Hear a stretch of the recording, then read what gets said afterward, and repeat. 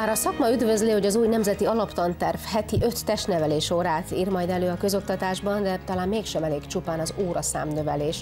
Most következő vendégem egy több tíz oldalas tanulmány írt a témában, és most pedig személyesen is elmondja, hogy mit gondolna a legjobb, leghatékonyabb megoldásnak.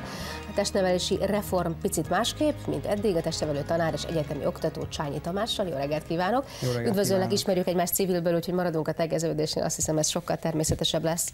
Itt ebben a stúdióban sokat beszéltünk arról, ugye, hogy valóban a testnevelés órák számának növelése azt gondolom, hogy nagyon-nagyon sok szempontból fontos. Ha más nem, ugye közegé, ha semmi más nem nézünk, csak a közegészségügyi okokat és, és ugye a későbbi következményeket, akkor ez már éppen elegendő. De éppen arról beszélgettünk, amikor ezt a mai megbeszélést is egy picit ugye előrevetítettük, hogy azért az óranszám növekedés nem mindenre megoldás. Legfőképpen azért nem, mert egyáltalán nem biztos, hogy, a, hogy az iskolások, a fiatalok ugyanígy gondolják, hogy ez az ő életüket segíteni fogja, és hogy éppen ezért szívesen vállalják majd ezt a többletóra számot. Mik a tapasztalataid? Hát valóban én is így gondolom. Egy nagyon jó törekvésnek tartom, és ez természetes szakmai indítatásomból is az, hogy a mindennapos testvériskola bevezetését a kormányzat nagyon komoly feladatának gondolja, és a következő tanévtől ennek elindul a, az ilyen irányú fejlesztése. Azonban tisztán látnunk kell azt, hogy egy önmagában egy mennyiségi növekedés és a mennyiségi növekmény az nem oldja meg azt a számos népegészségügyi problémát, amelyet, amelyet rendszeresen az egészségfejlesztők diagnosztizálnak uh-huh. éve, évről évre, és lassan most már évtizedről évtizedre. Így igaz. Minden, Igen. Mindenképpen szükséges egy minőségi változást mellé tenni, amiben hát tudjuk finomítani ezeket az adatokat. Hát annál is inkább, mert hogy nyilván a fiatalok nem érzik, nem látják még a következményeket. Amikor mi népegészségügyi kérdésről beszélünk, az ő fejükben ez nem így fogalmazódik meg. Tehát én azt gondolom, hogy nekik elsősorban az lenne fontos, hogyha olyan vonzóvá tehető lenne a testnevelés óra, hogy ne egy kötelező, sőt sokszor egy kifejezetten unott, vagy adott esetben unalmasnak tartott valamiről, valamiből kellene még többet végrehajtani gyakorlatilag heti minden nap, nem? Úgy gondolom, ez egy nagyon fontos gondolat. A tavalyi évben készítettünk egy elég komoly kutatást, ahol összességében 31 iskolának a közel 3600 gyermekét kérdeztük meg arról, hogy mit gondol a, a, a mozgásról, az iskolai testnevelésről és úgy általában az egészségéről, és a tapasztalatok azok hát jelentős ellentmondásokat Abszolút, tartalmaztak. Tehát olyan számokat láttam, amit nem is akartam hinni a szememnek néha. Igen, csak egy példát emeljek ki, ami szerintem nagyon fontos.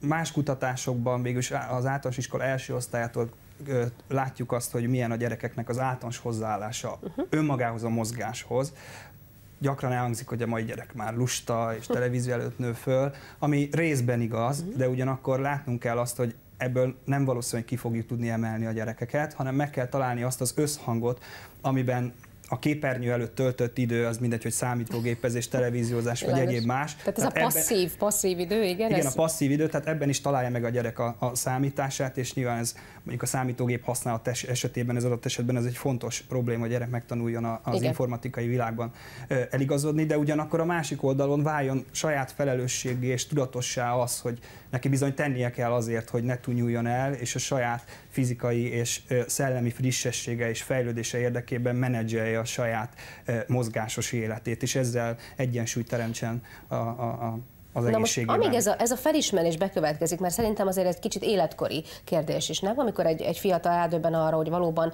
ez egy belső indítatás lesz. Tehát addig nyilvánvalóan olyan testnevelő tanárok, illetve olyan program kell, ami áthidalja ezt az utat ugye a, addig, amíg saját maga ezt felismeri. És ugye azt hiszem, hogy ez talán a legnagyobb különbség, mert ha visszatérve még ugye ennek a kutatásnak a statisztikai részére, tényleg van egy-egy olyan megdöbbentő adat, ami, ami azt mutatja, hogy bár a fiatalok jelentős része nem nagyon üdvözli ezt a bizonyos mindennapos testnevelést most pillanatnyilag, de az egyértelműen egyetért, hogy jó minőségű és izgalmas sportaktivitásban szívesen részt venne. Abszolút. Az előző gondolatsoromnak az elején abból indultam el, hogy tehát itt van egy óriási ellentmondás, amit mi tapasztaltunk, ez pedig az, hogy a gyerekeknek az általános hozzáállása a mozgáshoz önmagában, az majdnem 90% fölöttig pozitív és kedvező viszonyt mutatott. Eddig ez jó? jó Első osztálytól érdekes módon alsó tagozatban ez bőven 95% fölötti értékeket uh-huh. mutat egyébként, és középiskola végére ez csak Elfogy. 90% környékére De nem nagyon, igen, esik, me, esik le. Uh-huh. Sőt, uh-huh. hozzá kell tennem, hogy a, gyerek, a, a középiskolások egyébként, ez a kutatás ez 13 és 19 éves gyerekeket kérdezett, rendkívül fontosnak ö, ö, érzem elmondani, hogy, hogy a gyerekek nagyon fontosnak tartották azt, hogy az, iskola, az iskolának szükséges biztosítani számukra a mindennapos mozgásnak a lehetőségét. Abban már nem volt teljes egyetértés, messze nem, és ez talán egy borzasztó adatnak tűnik, hogy a gyerekek 60, 62%-a azt ajánlotta, azt javasolta, azt kérte, hogy a mostani testnevelés óráit cseréljék le valami más típusú mozgásos tanórára, uh-huh. amiben hát ezt az ellentmondást elég nehezen tudjuk feloldani. Tehát mozognának, csak ne, ezen a, ne a mostani koncepció szerint, ha jól értem, Ö, ugye? Legalábbis azok, azok az iskolások, akiket megkérdeztünk, ők, ők, ők úgy gondolták, ők így, hogy így szívesebben ö, mozognának másféle uh-huh. megközelítésben, más típusú mozgásformákban, Na egy most, picit más megközelítésben. Ha, ha ide, idáig eljutottunk, akkor is most egy picit szeretnék majd azokra a külföldi tapasztalataidra is utalni az Egyesült Államokból, illetve ugye Kanadából, ahol nyilván hasonló kutatásokra jutottak, gondolom, akik a témával foglalkoztak, hogy elsősorban azt hiszem a sikerélmény faktor hiányozhat ugye ezekből az órákból, amiért azt mondják a fiatalok, hogy bár mozognának, csak ne ezt kell ami a mostani testnevelést óratanagyaga. Na most itt, itt következik be ugye a nagy feladat, hogy nem csak kutatni kell, hanem ajánlani, hogy de mit és hogyan másképp. Én úgy gondolom, hogy a mennyiségi emelkedés, ugye ezt megbeszéltük, ez egy nagyszerű törekvés. Igen. Emellé nyilván infrastruktúrális beinvestálásokra is szükség van. Ez eszközrendszert, illetve tornateremépítési programot jelent mindenképpen. Erre bizonyos keretek rendelkezésre állnak a következő évről. Azonban ez önmagában kevés, ugye erre többször visszatértünk, és ezt nem győzöm hangsúlyozni. Minőségi emelés nélkül gyakorlatilag nem fog, nem fog változás történni, sőt adott esetben még ez pont fordítva is Igen. elsülhet, hiszen a végső cél az, hogy minden gyerek lehetőleg élethosszig tartóan próbáljon aktív maradni a saját életében, és az erre irányuló felelősség alakuljon ki.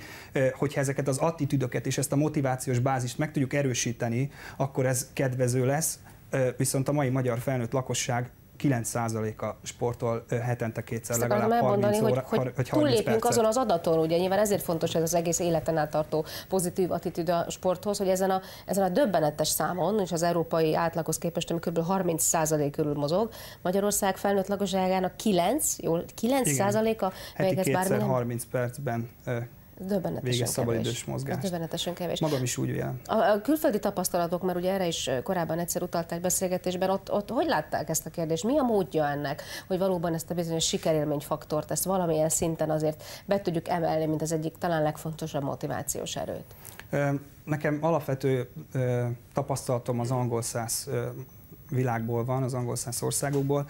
Gyakorlatilag a 90-es évek elejétől a 2000-es évek elején, elejéig gyakorlatilag lezajlott egy olyan tíz éves folyamat, amiben egy gyökeres tantervi és gondolkodásbeli átállás történt az iskolai testnevelési uh-huh programok tekintetében, és az idézőjelesen ö, hagyományos felfogások körül megpróbálták kiszűrni a, a számos tudományos kutatás alapján, hogy melyek azok a módszerek, eljárások pedagógiai szempontból és szakmódszertani uh-huh. szempontból egyaránt, amelyek nem támogatják ezt a fajta pozitív attitűdnek, a, uh-huh. ennek a pozitív attitűdnek a kialakulását a, a gyerek életére ö, nézve, és megpróbálták, ö, ö, megpróbáltak egy olyan mozgásprogramot kialakítani, amit a gyerek a későbbiekben az élete során is fog tudni használni. Ma én úgy gondolom, hogy a, az egyik legnagyobb probléma az, hogy az iskolai testnevelésben meglévő, megjelenő mozgásanyagnak egy jelentős részét a valóságban a magyar lakosságnak a jelentős része a valós életben nem képes, nem tudja alkalmazni, mert egészen egyszerűen nem fér hozzá olyan mozgásformákhoz. Uh-huh. Tehát mindenképpen a fejlesztés iránya abba az irányba kell, hogy hasson, hogy az általános mozgáskészség műveltséget meg kell teremteni, ami mentén az egyén önállóan az életet későbbiekben is az, eldöntheti, hogy melyik az az irány, ami, hogy, vonzó. ami, ami uh-huh. számára vonzó, és e, ehhez a szükséges alapkészségekkel, ehhez, ezekhez a, ehhez a választáshoz ehhez rendelkezik. Tehát ha jól értem, akkor egy picit ezt lefordítsuk, hogy, és most nagyon nyersen fogalmazok, hogy ne a mondjuk úgy a függeszkedés és kötélemászás legyen az első számú osztályozási alap egy, egy testnevelés órán, most tényleg sarkítok, hanem mondjuk legyen ebben egy csomó olyan dolog, amiből közül választhat a tanuló, hogy ő miben érezni jól magát, hogy ő neki az aerobik lenne, a kiteljesedés és a többi. Tehát valami ilyesmiről beszélünk, hogy adjuk meg a lehetőséget egy sokkal szélesebb palettáról való választásnak? Abszolút, most ez megfelelő eszközellátottság nélkül természetesen uh-huh. nem működik, tehát itt lép be újra a minőség biztosítási háttér. Valóban erről, erről, erről gondolkodunk és erről beszélünk. Gyakorlatilag melyek azok a, hogyha picit mélyebben belemegyek módszertanilag, bár nem szeretnék, melyek azok a konkrét mozgásanyagok, azok a, azok a szervezési Tudom, eljárások, ezek... amelyek, amelyek kifejezetten negatívan érintik uh-huh. elég sok gyereket. Tehát, hogy egy példát mondjak itt a versenyzésnek a, a szerepe, hogy a versenyezni többféleképpen lehet, az ember tud versenyezni önmagával szemben, és tud versenyezni a társaival szemben. A kérdés számomra mindig az, és különösen itt a fiatalabb életkorok, tehát itt az óvodai, inkább az iskolai, uh-huh. általános iskolai életkorra gondolok, de ez a kés, későbbiekben is egyébként adott.